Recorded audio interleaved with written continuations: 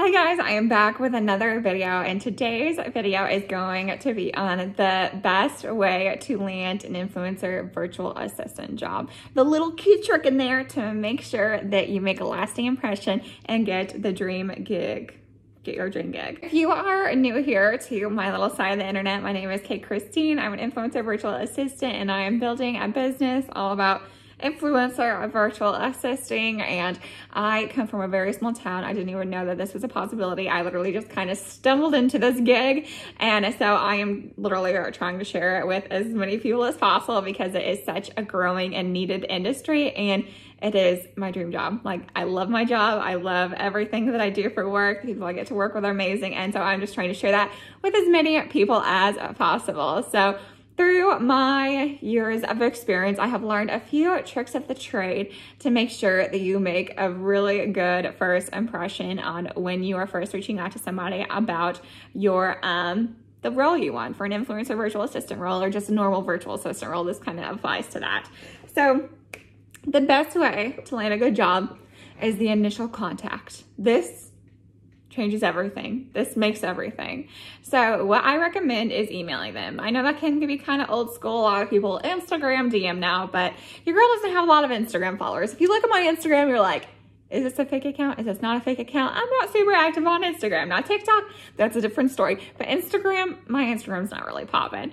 Um, so emails. Email is not dead.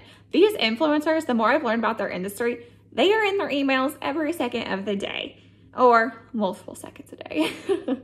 so emails is where they get their collabs. It is where they talk to their manager. It's where they talk to their agency. So they are checking their emails multiple times a day. Like I can tell you that for a fact. So if you send them an email, they're going to see it. They may not open it. It kind of depends if you got a catchy, an eye-catching title, but they're going to see it. By God, they will see it.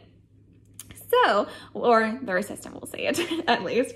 So what I recommend doing is how my winning subject line is um, hi exclamation mark. And that is no joke. That is how I've gotten many of my clients, a lot come from referrals now, but in the beginning, that is how I got it. Or you could do something catching like your future virtual assistant. Like that would be cool. Like I like hi because they don't know what they're getting into. They're clicking it thinking maybe it could be a collab.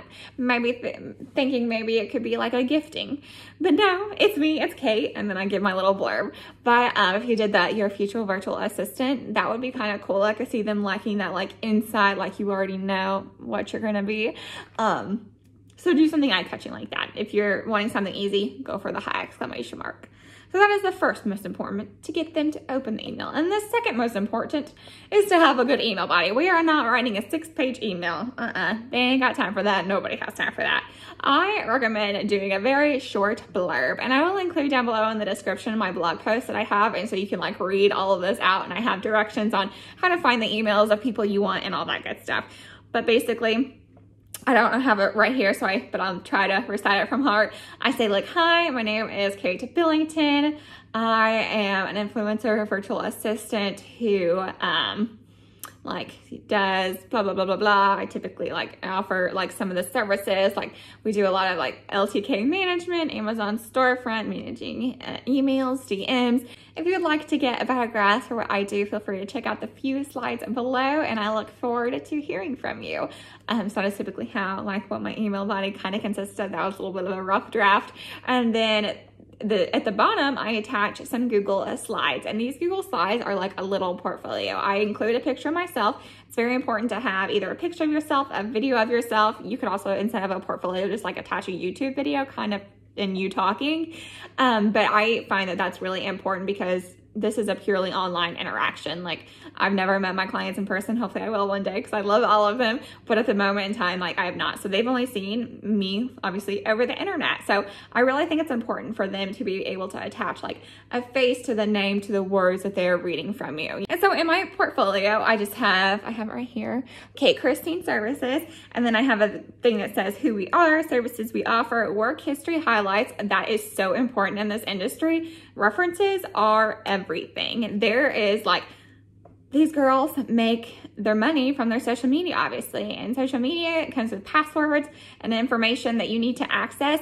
And if something were to happen to that, like that could be their career is gone. And so they, if they are trusting you with their passwords, they are trusting you with their life. So it is so important to have reputable references. And if you are just new to this industry, include some of your previous work references or just people who can vouch for you being like trustworthy and just like confident and nice and just, I don't know, just able to like really take care of that valuable information. And then after that, I have what us look working with us looks like. And on that, I just have like intro call, match up with one of the gals and then begin work. At the end, I just have a thanks so much slide with my email on it.